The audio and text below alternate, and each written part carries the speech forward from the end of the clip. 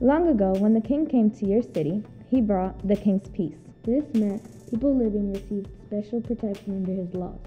God also brings a king's peace, and one that is more profound and powerful than any earthly king can offer. Today we are lighting the angel's candle. This candle represents the message of peace the angels proclaim. Peace can come in many forms, and as seekers of the peace in Hazleton, we have asked people what it is they love about the city.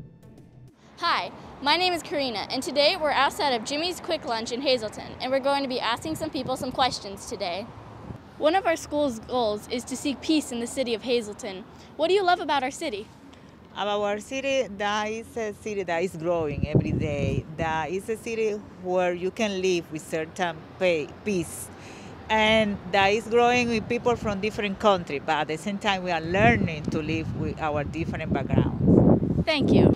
Hazleton has been growing in popularity. I feel like with the more popularity that has came in, has invested more in taxes, so it has helped the community look better and fix up uh, streets and everything else. Uh, my church is here. Grace Baptist is here. I enjoy that uh, and our time with the uh, our uh, congregation. Um, I enjoy places like this, uh, Jimmy's. Um, you know, it's part of the city. It's just as much, uh, you know, uh, just as much of the city as anything else. And uh, the kids. And sports? do what? What the sports? Yeah, I enjoy the sports here. I, I coached. I coached for a long time here, but uh, I just enjoy the people. People are good. They're um, good people.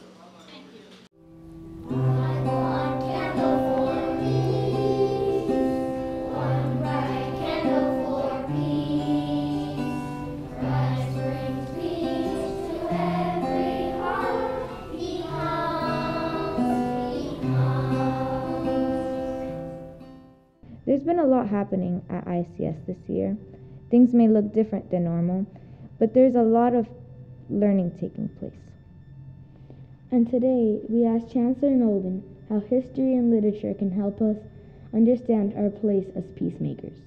So, one of the things we do at Immanuel Christian School is we study literature and history, and the value in doing that is to understand how fragile peace is in, in the historical context.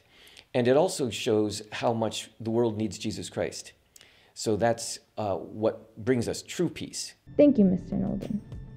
This month, we're hoping to spread peace to our families and community. Did you know that 50% of our students live below the poverty line? Which is why this month we want to make an ICS education affordable for more families. Our goal is to raise the full tuition for one student every week of Advent. So please join us in providing a financially accessible, grace filled, Christ centered education. Designed to promote lifelong learners with character and integrity. Thank you and have a peace filled week.